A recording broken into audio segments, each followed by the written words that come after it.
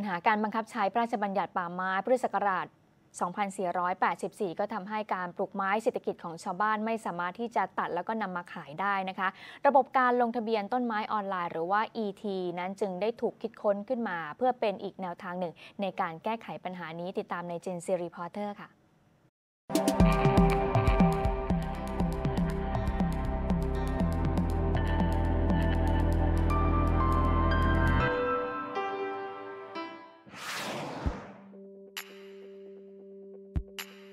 สวนป่านี่หมายความว่าเราปลูกพืช ไม้เศรษฐกิจ อย่างเช่น ไม้สักยางนามะฮอกกานีหรือทุกอย่างนะคะชิงชันเอยอะไรเอยเนี่ยนะคะในพื้นที่มีเอกสารสิทธิ์ที่สามารถเอาไปขึ้นขึ้นกับ เป็นหลักฐานในการเข้าธนาคารได้ ปลูกสวนป่าหมายความว่า เราปลูกต้นไม้หลาย ๆ ชนิดที่เอ่อเป็นไม้ยืนต้นนะคะแล้วก็เอาไปขึ้นทะเบียนกับทางกรมป่าไม้เขาเรียกขึ้นทะเบียนสวนป่าค่ะ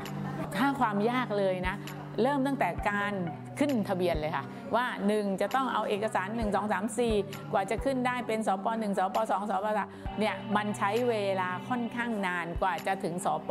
15 อาจจะใช้เวลาถึง 3-4 ปี กว่าจะขึ้นถึงแล้วกว่าเราจะตัดได้ตอนนี้วันนี้คือปลูกได้ ก่อนหน้าที่จะมีการแก้ไขตัวมาตรา 7 ตามพรบป่าไม้ท้องถิ่น84เนี่ยมันมีที่ไปที่มาเพราะว่ามันลิดรอนสิทธิประชาชน เพราะว่า ไม้ปลูกในที่ตัวเองแล้ว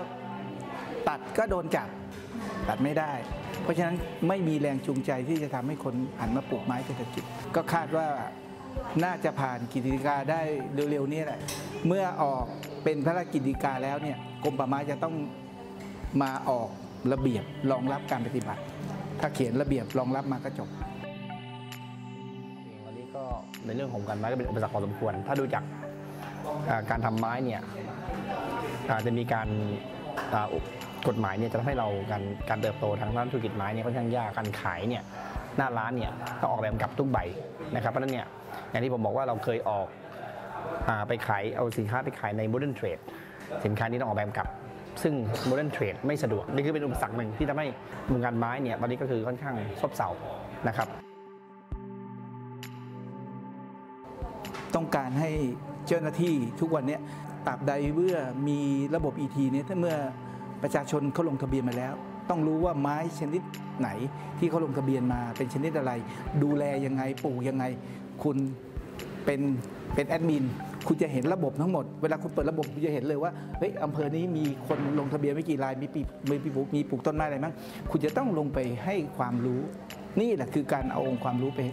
ไปให้ประชาชน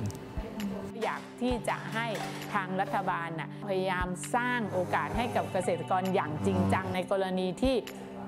ทำแบบ ET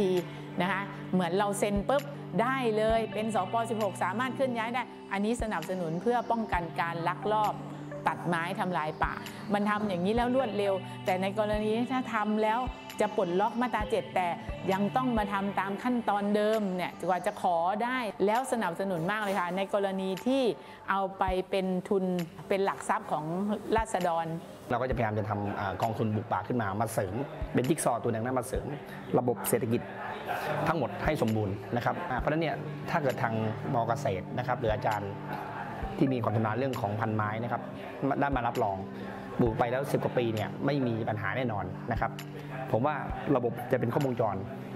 แล้วในอนาคตผมว่าเราสร้างเศรษฐกิจไม้ได้จริง ๆ ในประเทศไทยกลับมาเหมือนยุค 40 ปีที่แล้ว